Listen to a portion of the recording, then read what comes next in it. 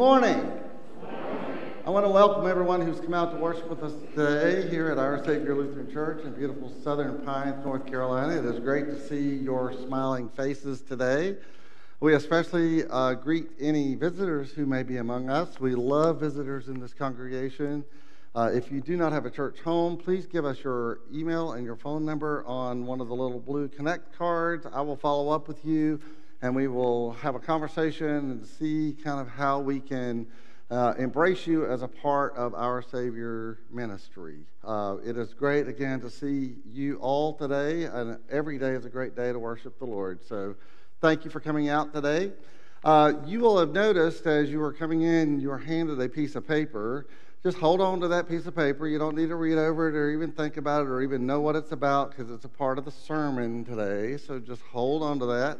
It is not a stewardship form, so don't be thinking this is any kind of stewardship movement thing at all. This is related specifically to the sermon. So it gives you something to take home with you. So hold on to that, hold the mystery until the sermon time. So um, there will be other announcements at the end of service. I do want to always keep you mindful uh, that we do have a capital campaign going on currently for Raise the Roof in Faith campaign to uh, replace the, the uh, roofing over the educational wing of our church and the preschool. Uh, if you have not participated so far in the Raise the Roof in Faith campaign, we strongly encourage you to do so. We have a $40,000 goal, and we hope to end that, have that finished before we start uh, putting the first shingle on the, on the roof, which is going to happen in late September.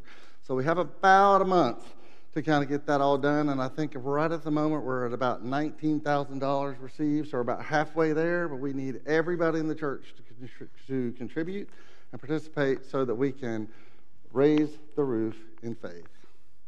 So, with that said, let us rise for the brief order for confession and forgiveness. Blessed be the Holy Trinity, one God, who forgives all our sin, whose mercy endures forever. Seeking reconciliation with God and neighbor, let us remember the gift of baptism and forgiveness of sin. God of mercy, we confess that we have sinned against you, against one another, and against the creation entrusted to our care. We're worried and distracted by many things and we fail to love you above all else. We look after ourselves and turn our back on those unlike us. We participate in separating ourselves from others, creating distinctions that divide us. We create hostility where you desire peace. Forgive us that we may live in the unifying freedom of your Son, Jesus Christ our Lord. Amen. When we were laid low by sin and guilt, God made us alive together with Christ, forgiving us all our trespasses by taking our sins to the cross. For freedom, Christ has set us free, but this freedom is not for selfish consumption. We are freed from sin to be freed for service. So let us rejoice in the good news.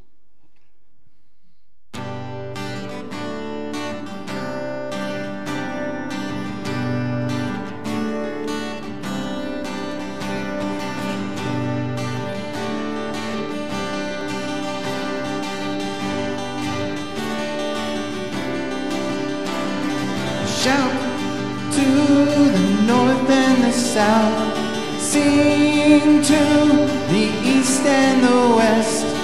Jesus is Savior to all, He's Lord of heaven and earth. Now, men, sing this first verse. Men of faith, rise up and sing of the great and glorious King. You are strong when you feel weak in your brokenness complete. Everyone. And we'll shout to the north and the south, sing to the east and the west. Jesus is Savior to all, He's Lord of heaven and earth. All right, ladies, it's your turn.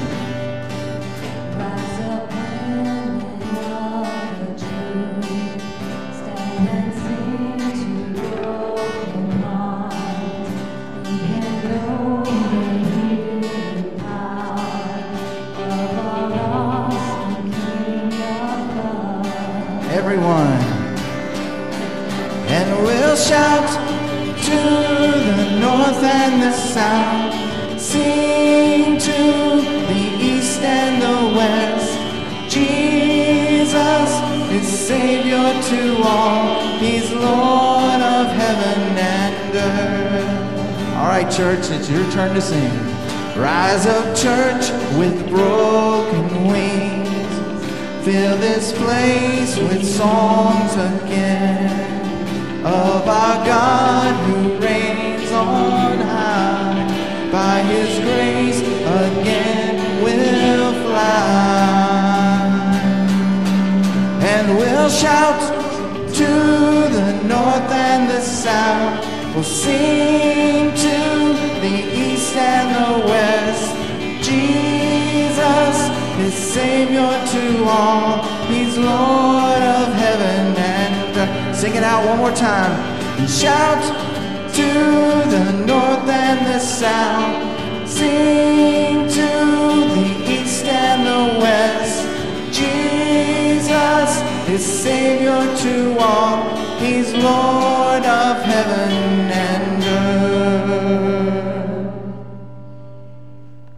sounded amazing. I love it. The grace of our Lord Jesus Christ, the love of God, and the communion of the Holy Spirit be with you all. Glory to God in the highest, and peace to God's people on earth.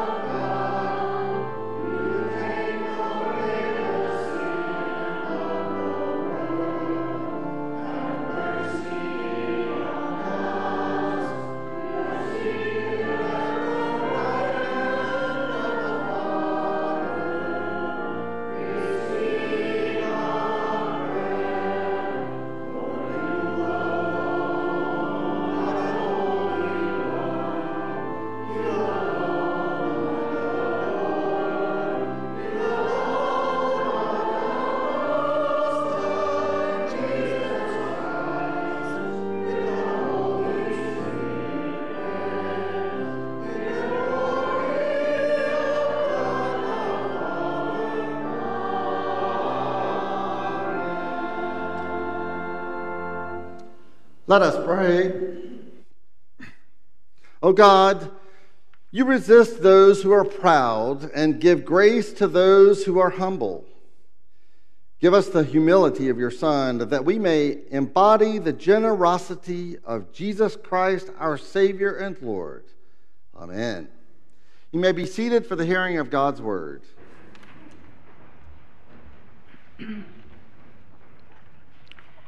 The first reading is from Esther, chapter 9. Now, in the twelfth month, which is the month of Adar, on the thirteenth day, when the king's command and edict were about to be executed, on the very day when the enemies of the Jews hoped to gain power over them, but which had been changed to a day when the Jews would gain power over their foes the Jews gathered in their cities throughout the provinces of King Ahasuerus to lay hands on those who had sought their ruin, and no one could understand them because the fear of them had fallen upon all peoples. All the officials of the provinces and the governors and the royal officials were supporting the Jews because the fear of Mordecai had fallen upon them. For Mordecai was powerful in the king's house, and his fame spread throughout all the provinces as the man Mordecai grew more and more powerful. So the Jews struck down their enemies with the sword, slaughtering and destroying them, and did as they pleased to those who hated them. In the citadel of Susa, the Jews killed and destroyed 500 people. They killed the ten sons of Haman, the enemy of the Jews, but they did not touch the plunder. That very day, the number of those killed in the citadel of Susa was reported to the king. The king said to Queen Esther, In the citadel of Susa, the Jews have killed 500 people, and also the ten sons of Haman.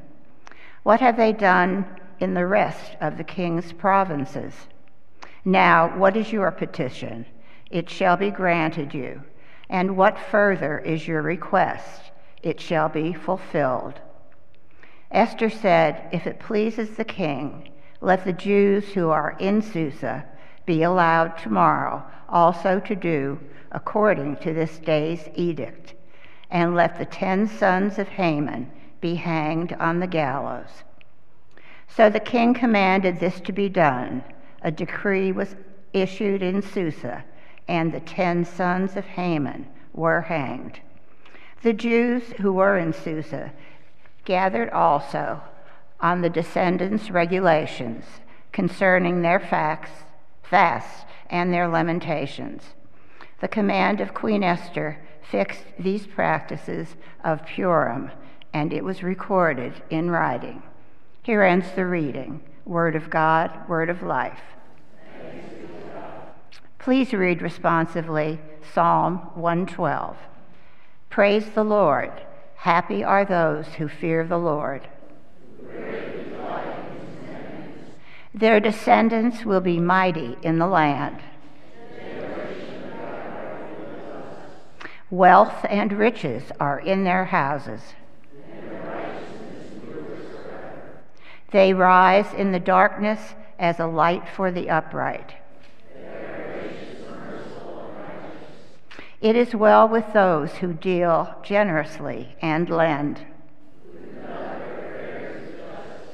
For the righteous will never be moved. They are not afraid of evil tidings.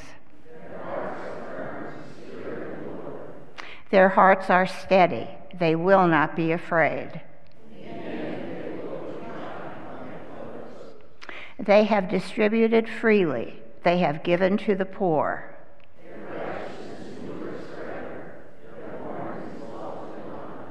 The wicked see it and are angry.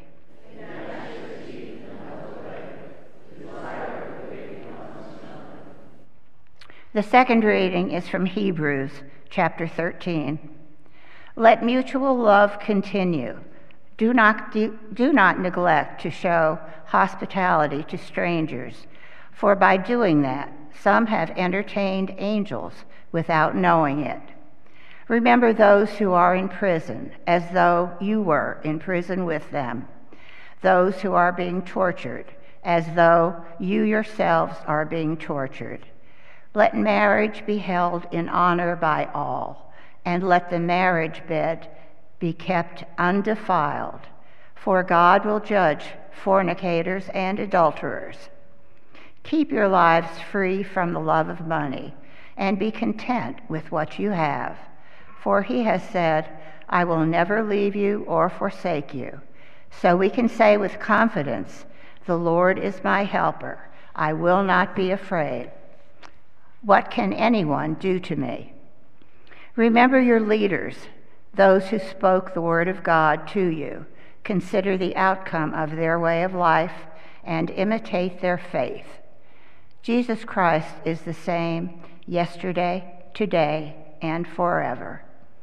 Through him, then, let us continually offer a sacrifice of praise to God. That is the fruit of lips that confess his name.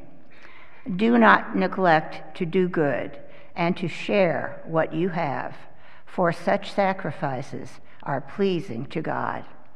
Here ends the reading Word of God, Word of life.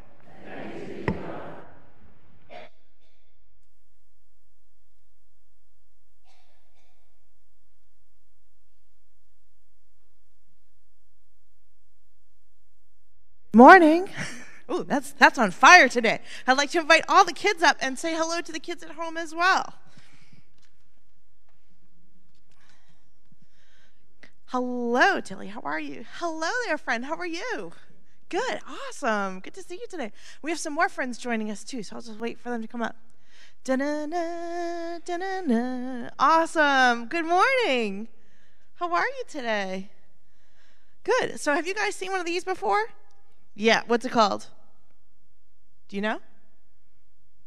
It doesn't really matter. It's called a pinwheel. it doesn't really matter. But I thought maybe we'd all like to try it. So I was going to try and see if I can get it to work and spin today. Oops. Ooh, that's not too bad. You want to try it? Here, see if you can get it to spin. Nice. You want to pass along? See if anyone else wants to try it? You can do it. You've got this. There you go. There you go.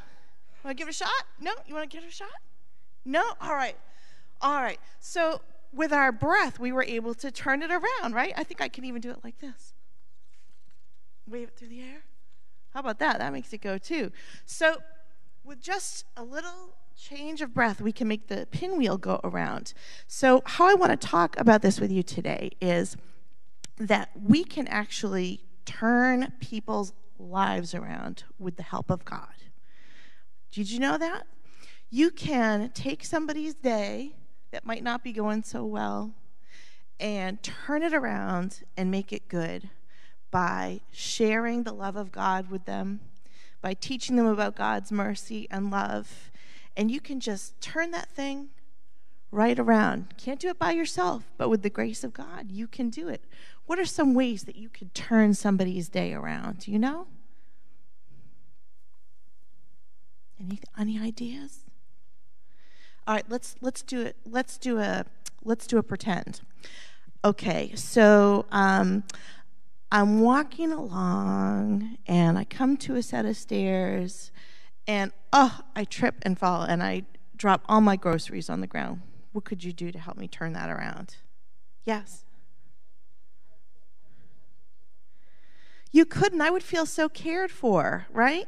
Okay, now I'm at school and I'm sitting at the lunch table all by myself. Everybody just keeps walking by me. I feel kind of lonely. What could you do to turn it around? Yeah. Yeah, you could sit with that person who's alone and talk to them and, and also make them feel important, right? Yep. And let's see, let's try one more. Um, let's pretend that um, I am walking along and I've got all these books in my hand and it looks like I'm going to bump into something or fall over. What could you do? Yes.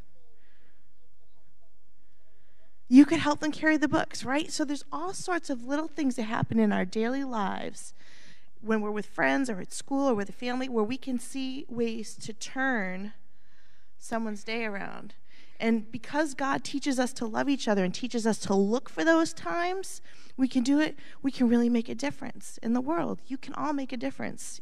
Even if it seems small, it goes out. It's like a ripple. When you throw a pebble in the water and it makes a little circle, when you turn someone's day around, then they might turn someone else's day around, and so on and so on and so on. And God acts through us in that way. Will you guys pray with me today? Awesome.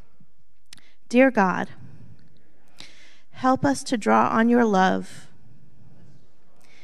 and radiate it out to change the lives of others, to help them know your love and grace and mercy, and that they are a child of God. In Jesus' name we pray and play. Amen. Thanks, guys. Go in peace. Go in peace at home.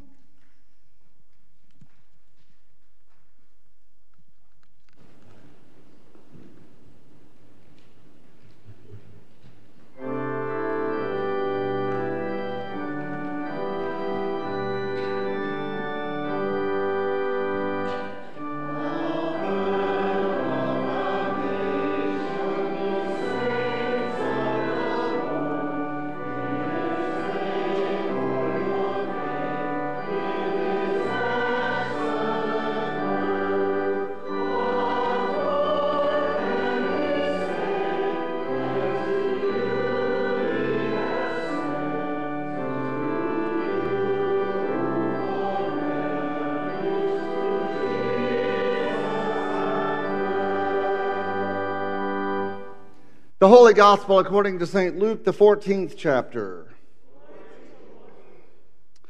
On one occasion, when Jesus went to the house of the leader of the Pharisees to eat a meal on the Sabbath, they were watching him closely. When he noticed how the guests chose the places of honor, he told them a parable. When you are invited by someone to a wedding banquet, do not sit down at the place of honor in case someone more distinguished than you has been invited by your host. And the host who invited both you, both of you, may come and say to you, Give this person your place. And then in disgrace, you would start to take the lowest place. But when you are invited, go and sit down at the lowest place, so that when your host comes, he may say to you, Friend, move up higher. Then you will be honored in the presence of all who sit at the table with you. For all who exhibit, exalt themselves will be humbled, and those who humble themselves will be exalted. He said also to the one who had invited him, When you give a luncheon or a dinner, do not invite your friends or your brothers or your sisters or your relatives or rich neighbors in case they may invite you in return and you would be repaid. But when you give a banquet, invite the poor, the crippled, the lame, and the blind, and you will be blessed because they cannot repay you, for you will be repaid at the resurrection of the righteous. The gospel of the Lord. You may be seated.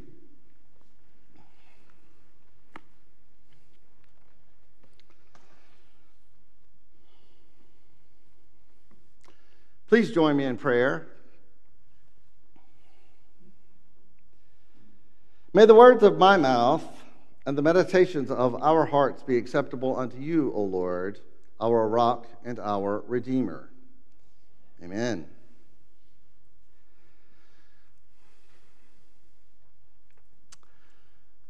My good friends, we continue this morning our journey through this marvelous book of Esther. Now, by now, we have become accustomed to the whips and the turns of this incredible tale. The story of God's pro- providential hand moving in the lives of an endangered minority group. We've seen the way that God placed two ordinary people from a hated minority group at the doorway of imperial power and then provided a way for God to act on their behalf for the salvation of their kindred. By now, we are familiar with the names Mordecai and Esther. And we have enjoyed watching the comeuppance received by a man named Haman the Agagite, a man so drunk on himself and his importance that he carelessly sought the annihilation of an entire ethnic group. Through this epic story, we have learned a whole lot. I hope you have learned a whole lot. We've learned, for example, from Queen Vashti in chapter 1 that well behaved women rarely make history. And yet, though through the outspoken reclaiming of feminine agency in a man's world, women can and often do contribute to the opening of pathways for God to bring deliverance to oppressed people. We learned that we as a church have similar opportunities for engaging and challenging our culture. But we learned we will always do so as resident aliens. For we are a people set apart with a purpose to walk in the world but not of the world.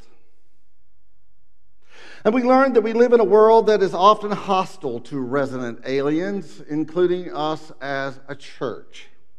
Since we live in Haman's world these days, a place driven by elevated self interest groups and programs of hate that scapegoat those who are different from the dominant culture.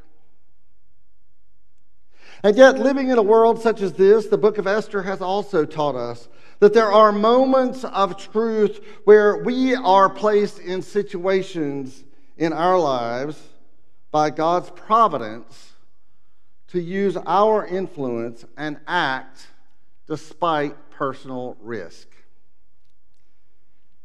Through these moments of truth and the actions that follow, God has shown himself performing divine reversals, bringing about events and positive outcomes that we could neither predict nor control, but which would not have occurred if we had failed to show up and to act. From the example of Haman the Agagite, one of the most heinous characters in all of the Bible, we saw a kind, what kind of people and what kind of church we should not be. For we learned that pride comes before the fall, and we get what we give. And we learn from Haman that the condition of our lives, and yes, even the condition of our church, is oftentimes associated with what each of us do and how each of us act in our communal settings. For we learned what goes around comes around. Then last week we learned that God is able to use anyone, anyone, to accomplish his purpose. And oftentimes uses people outside of the community of faith to accomplish his purposes, especially when the church itself fails to rise up and to be the church to do God's purpose. God can use anyone to accomplish his purposes. Lastly, we learned that we as a church are called to create relationships with people inside and outside of the Christian community to, uh, who align with our values. People and groups who are willing to join us in fighting for the protection and the redemption of all people. For we know, as Mordecai warned Esther in chapter 4, if we as a people of God fail to seize our moment of opportunity and decide to remain silent, detached, and remote from the front lines of engagement with our culture, we as a people of God, we as a church, we as a congregation will pass away and God will accomplish his purposes by other means.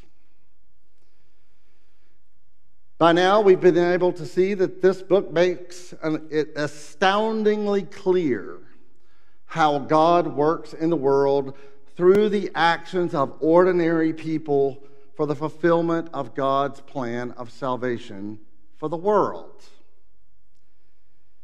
As a message for us, the book of Esther is an encouragement for us who are baptized to remember who we are as children of God and to not forsake our providential birthright by being complacent and detached, sitting back in the comfort of our beautiful homes and our beautiful sanctuary at a time when God has work for us to do. And if you've got nothing else out of this entire sermon series, this whole summer that we have spent in the book of Esther, please remember that you are here today, and we are here today as a church by God's providential grace and for by God's plan for a time just such as this. And let me just say, God has something for us to do. When we turn to chapter 9 of Esther, we find out what that something is. Immediately, we are thrust into the center of action, and this is the sign of things to come, not only for the story of Esther, but for us as well. The plane is getting ready to take off, and we are now boarding to actually go somewhere. So let me ask you You've been with us all summer long in the book of Esther. Are you on board? Are you here? Are you ready to depart? Are you ready to take all of this time that we spent this summer focusing on the book of Esther and our the church's encounter with our culture and actually begin to plug your life into that story. Esther 9 1 says, Now in the twelfth month, which is the month of Adar, and the thirteenth day, when the king's command and edict were about to be executed, on the very day when the enemies of the Jews hoped to gain power over them, but that had been changed to the day when the Jews would gain power over their foes, the Jews gathered in their cities throughout all the provinces to kill those who had sought their ruin, and no one could withstand them, because the fear of them had fallen upon all the peoples. Now, that's a pretty hardcore piece of, of, piece of scripture. It goes against some of our expectations of what the, the literature in the scriptures would actually talk about. It seems like suddenly we are being launched into an aggressive moment of actually beginning to fight. What we should see in this moment of providence, though, is that the Jews went from being a maligned people under threat of death to actually being a people ready to take action and to have dynamic influence in their culture and to dis- discover renewed life. Let's look a little closer to see why this is such an important moment in the story of Esther and why this actually holds the key to our future as well. In their willingness to step out of hiding, to engage the culture around them directly, like Queen Vashti in chapter 1, what we must first see is that finally the Jews are standing up for themselves. At the same time, they put into action God's plan to protect their place in the kingdom of God. By standing in godly confidence, defending themselves against the consequences of Haman's edict, they actually, in that moment, began to change the culture. They did not do this by sitting around socializing or even attending worship services. We see nowhere in this book anybody going to church. It's all happening in the second kingdom that I spoke about last week, in the community kingdom of God where God actually even used people who are not of faith in accomplishing his tasks. They did not spring into action inside of a sanctuary. They sprang into action outside the sanctuary in the context of the world. Their surprising new confidence and actions delivered an unexpected message to the culture around them, saying, Look here, pay attention, for God is at work here, turning things around. Now, if you've ever been over to our offices, you will see that there is a sticker on the window of our church offices that says, God wins. God wins when He activates the kingdom through people like me and you. It's just a matter of time and action. Things began to turn around for the Jews when they broke out of isolation, stepped out into the lime, out from the limelight, and made a plan and got to work addressing the challenges surrounding them with the promises and the power of God.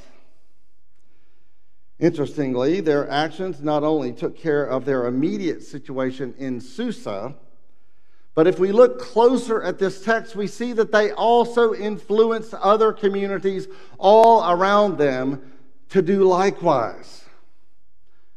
The Bible says, now the other Jews, not the ones in Susa, all the other Jews and all the other provinces of Persia Now, the other Jews who were in the king's provinces also gathered to defend their lives and gained relief from their enemies and killed 75,000 of those who hated them, but they laid no hands on the plunder.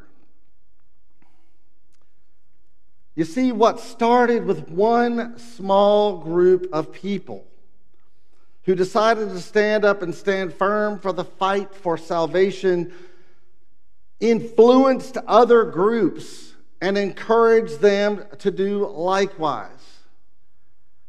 I loved Heather's analogy of throwing a rock into a pond and seeing how one small circle reverberates out to a larger circle, reverberates out to a larger circle, and to a larger circle.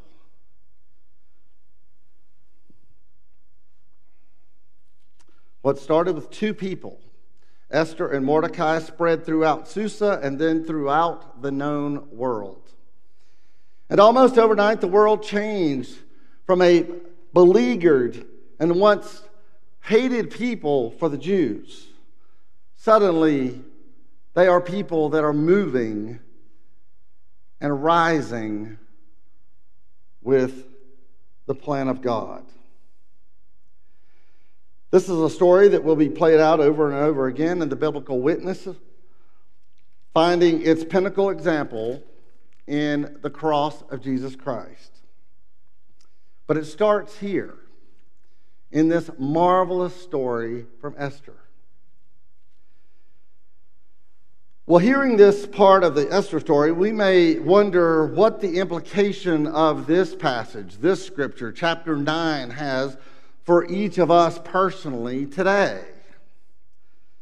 As a resident alien church living in a culture and a time when the public image of Christianity is under attack, we may wish to simply just get along in our culture in order to avoid conflict at every single turn. We may choose to keep silent and to keep our heads down so as to go unnoticed while others are suffering the onslaught of evil in our day. We may choose complacency and apathy so that we can remain at least comfortably hidden from view, a church that is invisible to our community, silent in our witness, a private country club for people just like us. And I will tell you, for our Saviour Lutheran Church, that is a risk. That is our risk. Or we can choose to be a church that enters the oftentimes confusing and oftentimes conflicted atmosphere of our modern life to be a stabilizing and conciliatory people willing to fight the good fight to recover God's greater peace by the removal of forces that threaten us and the most vulnerable among us. The question becomes will we be a visible church with a voice willing to hold the beacon light of Christ high in our community? Or will we choose to walk in darkness because we have let the light go out? Despite enormous odds, the Jews of Persia chose to stand up and fight the good fight. Seeing the providential hand of God at play in their lives, they applied their influence in every way possible to save others from peril. Their witness should inspire each one of us gathered here today to do exactly the same thing.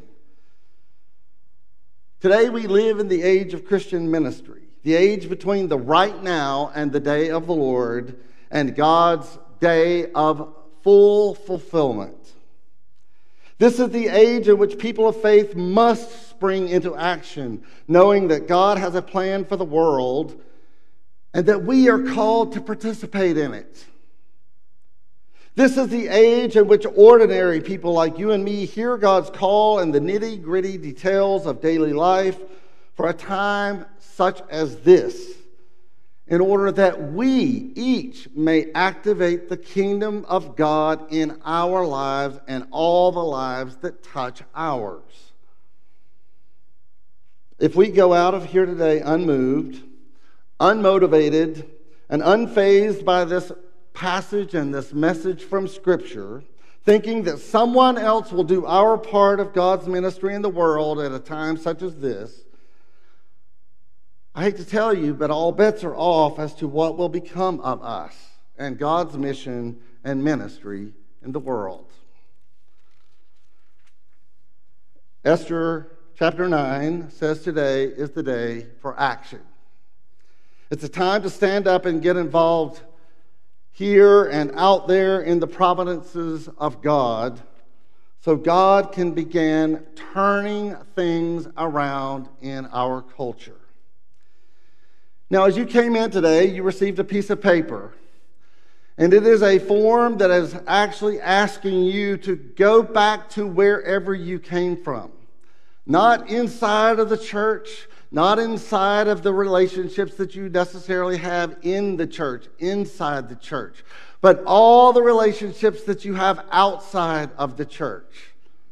To ask you to make a commitment to fight the good fight to activate the kingdom of God far beyond this sanctuary, far beyond the ministries of our Saviour Lutheran Church.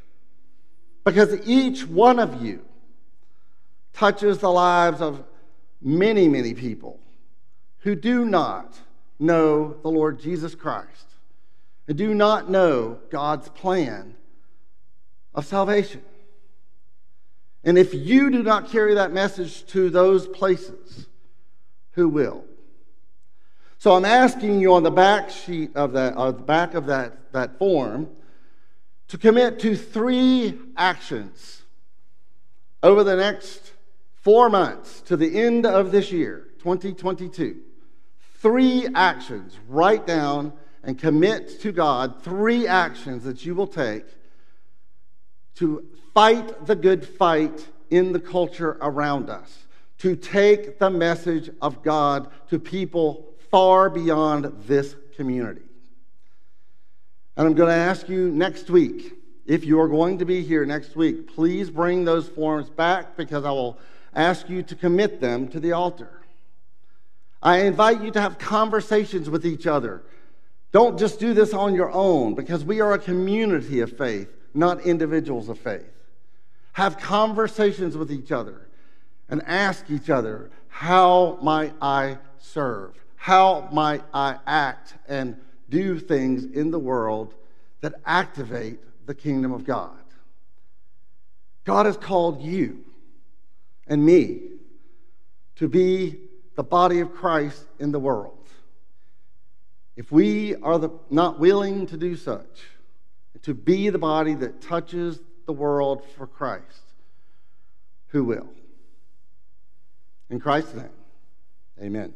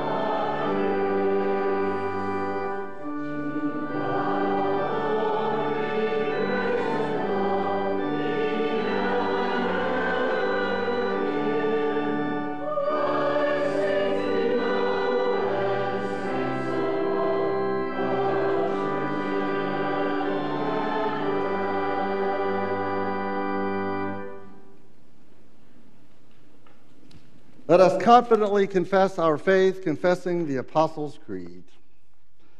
I believe in Jesus Christ, God's only Son, our Lord, who was, excuse me, my bad. I believe in God, the Father Almighty, creator of heaven and earth. I believe in Jesus Christ, God's only Son, our Lord, who was conceived by the Holy Spirit, born of the Virgin Mary, suffered under Pontius Pilate was crucified, died, and was buried. He descended to the dead. On the third day, he rose again. He ascended into heaven. He is seated at the right hand of the Father, and he will come to judge the living and the dead. I believe in the Holy Spirit, the Holy Catholic Church, the communion of saints, the forgiveness of sins, the resurrection of the body, the life everlasting. Amen. Let us pray for the whole people of God in Christ Jesus. Most gracious God, we do come to you, first of all, today in thanksgiving for the grace that you have bestowed upon us through Christ Jesus our Lord. We ask that you would help us to own our discipleship, to believe that you send us, and that you would motivate us to actually follow you in service to others bringing your message of redemption to all the world. Lord, in your mercy. We pray for the beautiful creation that you have provided for us. We thank you for the summer sun. We thank you for the vegetation that is around us, the beauty of our environment. We thank you for all of the things that you give us that sustain life our water, our air, and our food. We ask that you would bless the hands of all those who produce the food and care for our environment. We pray this, Lord, in your mercy. We pray for the world situation. We pray for places where there is conflict. We pray for places where there are people who are hurting, where there are people who are mistreated, we pray for those who are oppressed. We pray especially this day and continue to walk with the people of Ukraine and other parts of this world where the onslaught of misery, of war, continues. Lord, in your mercy. We pray this day with the saints of God, both present and those that have already entered eternity. We pray that their witness would inspire us to be the kind of people that you would have us be, who carry the message of Jesus Christ beyond the church walls into all of the community. Lord, in your mercy. We pray for our sick, those who in any way, shape, or form are in need of prayer. We lift them up silently. And we ask, Lord, that you would bless them with healing and wholeness. Lord, in your mercy. Into your hands, O Lord, we commend all for whom we pray, trusting in your mercy through Jesus Christ our Lord. Amen. The peace of the Lord be with you always. Please share the peace.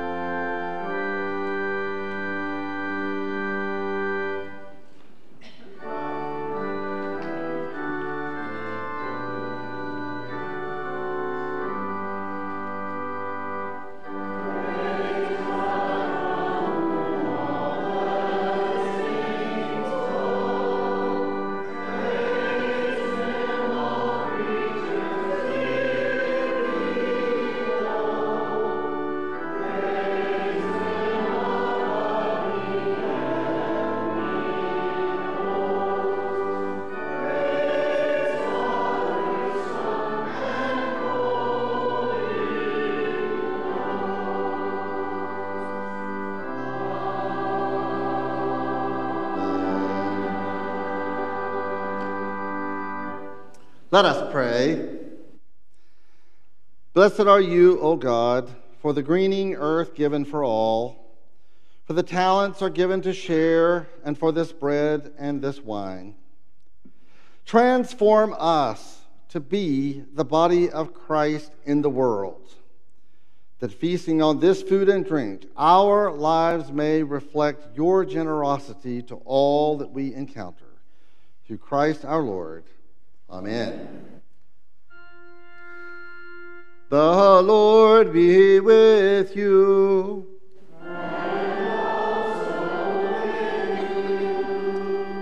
Lift up your hearts.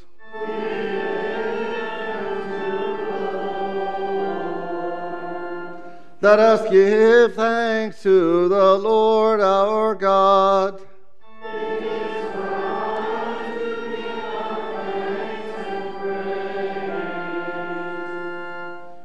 Is indeed right and our duty and our joy that we should at all times and in all places give thanks and praise to you, Almighty and merciful God, through Jesus Christ our Savior, who on this day overcame death and the grave, and by his glorious resurrection opened to us the way of everlasting life. And so, with all the choirs of angels, with the church on earth and the hosts of heaven, we praise your name and join their unending hymn.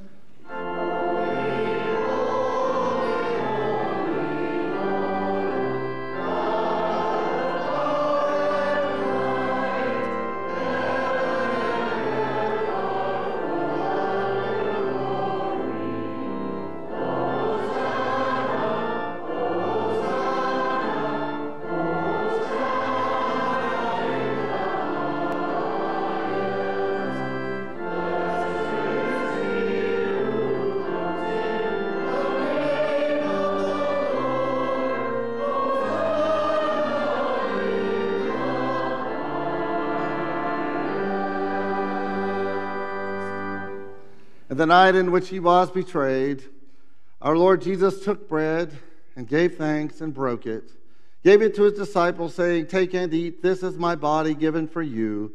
Do this for the remembrance of me. Again, after supper, he took the cup, gave thanks, and gave it for all to drink, saying, This cup is the new covenant in my blood, shed for you and for all people for the forgiveness of sin. Do this for the remembrance of me. Together with disciples everywhere, we pray the prayer our Lord taught us. Our Father, who art in heaven, hallowed be thy name. Thy kingdom come, thy will be done, on earth as it is in heaven. Give us this day our daily bread, and forgive us our trespasses, as we forgive those who trespass against us. And lead us not into temptation, but deliver us from evil. For thine is the kingdom, and the power, and the glory forever and ever. Amen. Taste and see that the Lord is good. Come to the banquet, for all is now ready.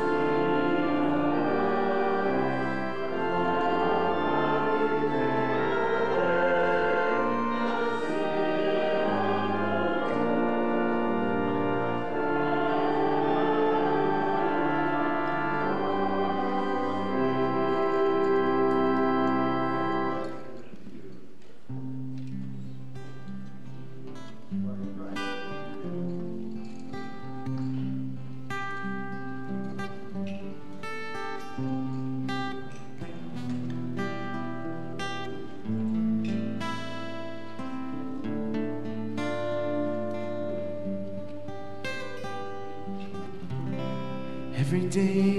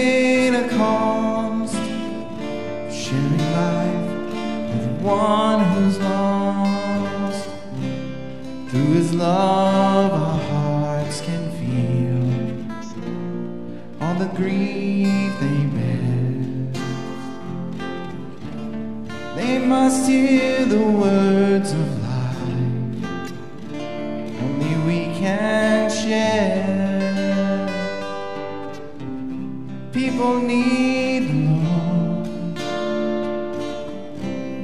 People need the Lord.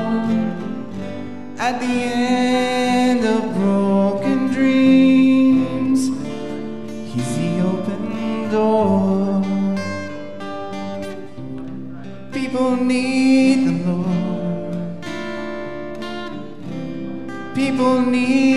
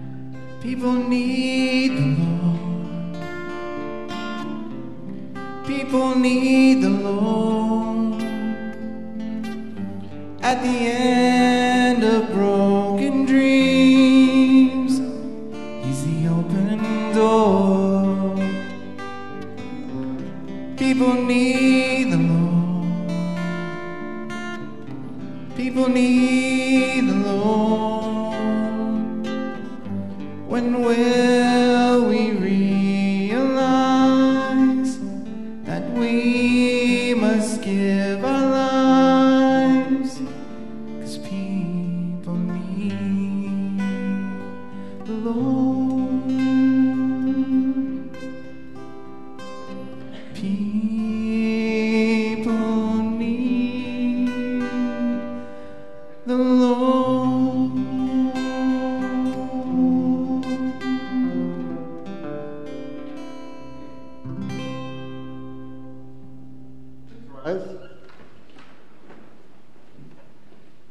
The body and blood of our Lord Jesus Christ strengthen and preserve you to eternal life. Let us pray.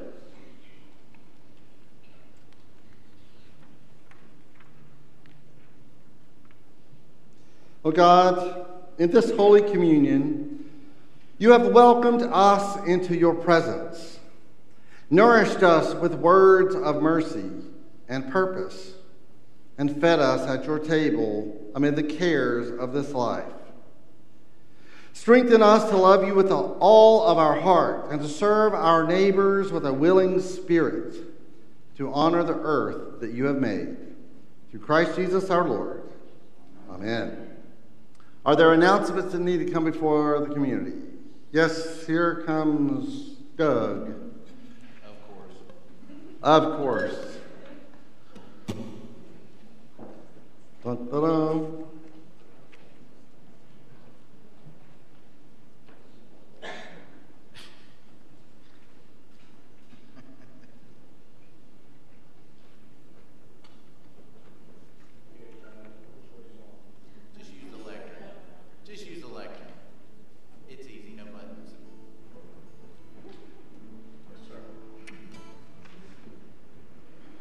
Good morning.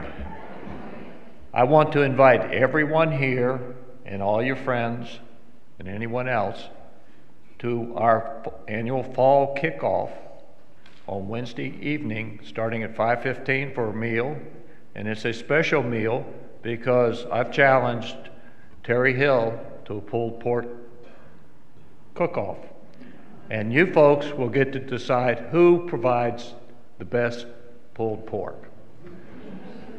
And after we have that fabulous meal and a little bit of fellowship, we will present what our fall programs are going to be, both here on Sunday morning and what we will be doing on Wednesday evenings throughout the church year, which includes food, fellowship, and some faith formation, in addition to all of the music rehearsals that take place.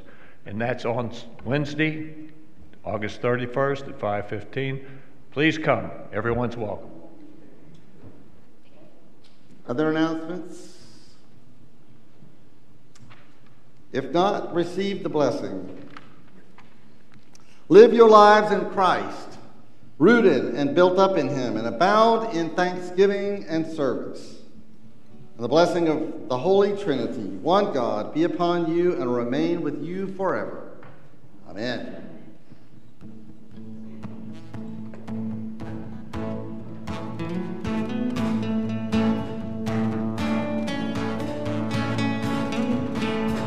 Give thanks to the Lord, our God and King.